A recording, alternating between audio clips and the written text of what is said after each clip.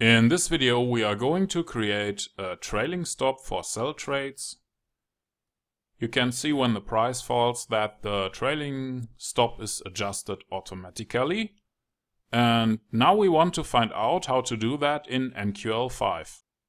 To start, please click on the little icon here or press F4 on your keyboard. Now you should see the Meta Editor window and here you want to click on File, New File, Expert Advisor from Template Continue. I will call this file simple sell trailing stop. Click on continue, continue and finish. Now you can delete everything above the onTick function and the two command lines here. First we include the file trade.mqh. That one will give us simplified trading functions and it includes a class called ctrade.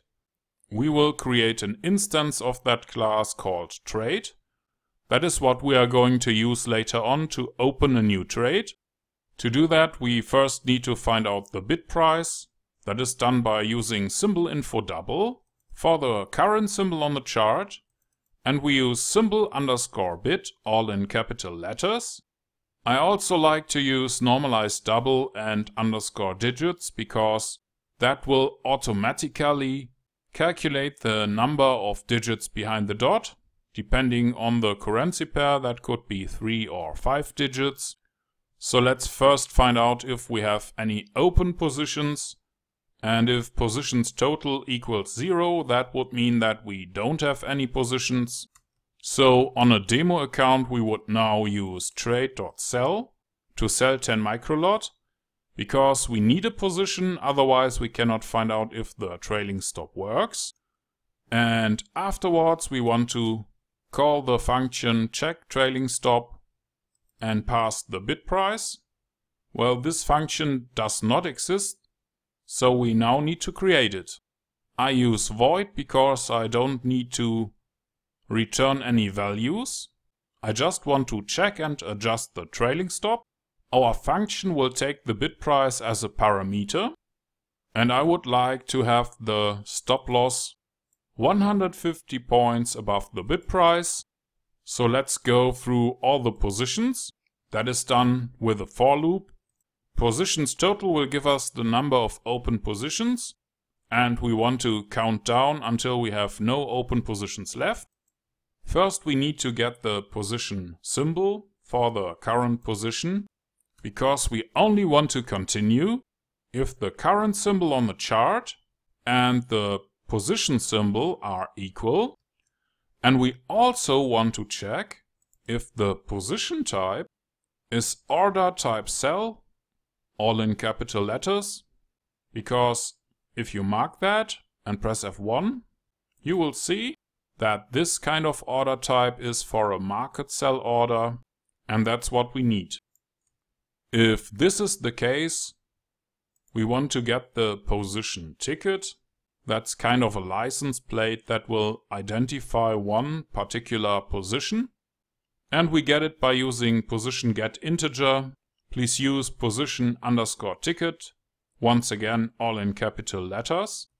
Afterwards, we want to calculate the current stop loss. That is done by using position get double and position underscore SL, also in capital letters.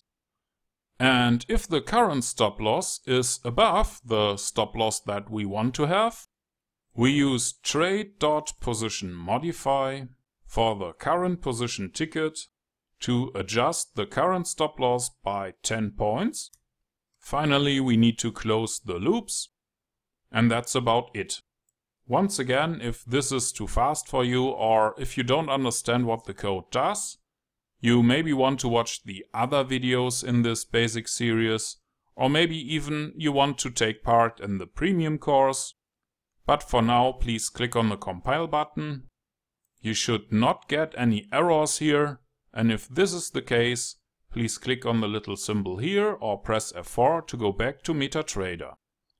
Inside of MetaTrader, I take an empty chart, right click, select templates, save template, and I save it as tester.tpl, replace the current one, because this is what we want to see in the backtest.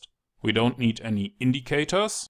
When you are done, please click on View, Strategy Tester or press Ctrl and R. Here we want to pick the new file simple sell trailing stop.ex5. Please mark the option for the visualization here and start your test. And here is our expert advisor at work. We should be able to see the trailing stop moving down as the price goes down. And in this video you have learned how to create a trailing stop for sell trades. And you have coded it with a few lines of MQL5 code.